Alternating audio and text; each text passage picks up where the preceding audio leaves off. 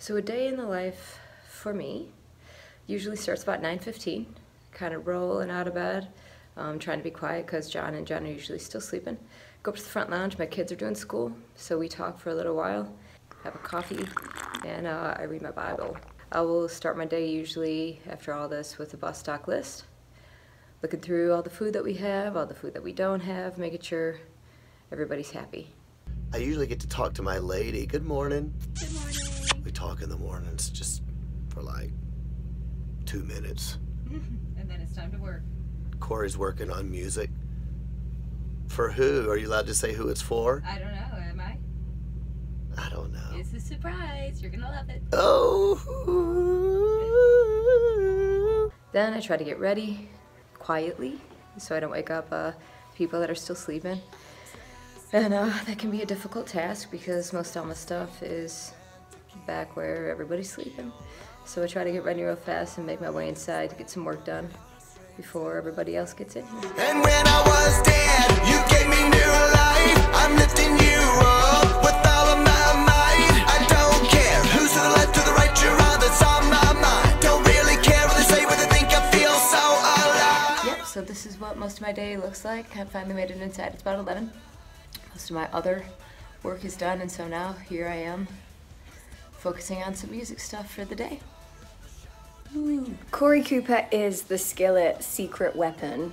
For every Skillet song that there is, she's been putting in probably weeks and hours and hours and hours of work into every single song. She's up every single day working on something. Before I'm even awake, she's got a good four hours of production and writing parts and um, making the song the best it can possibly be.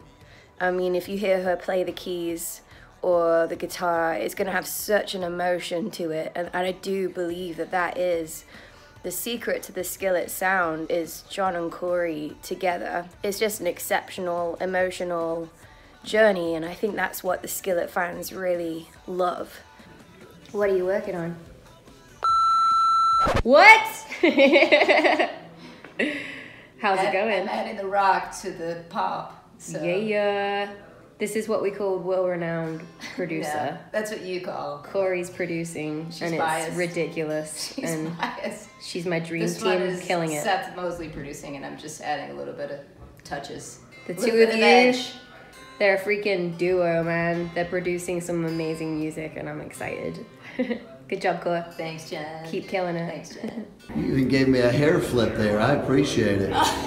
Give me a little hair. What are you trying to impress, honey? I'm Apparently, right just here. myself. oh. Trying to get a very lush sounding tone and chord. Becoming retarded.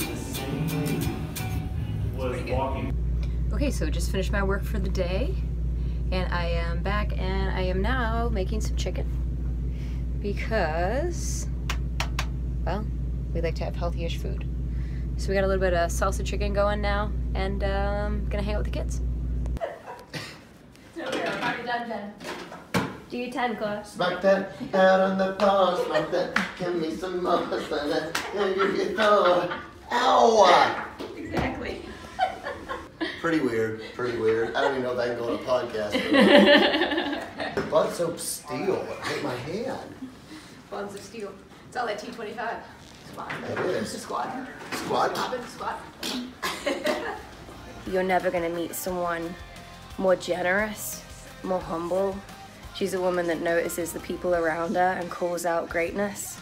She has faith for things when other people don't, and she's able to spur the rest of us on and just remind us why we're doing what we're doing. 10:15. Time to hit the stage. Adorable.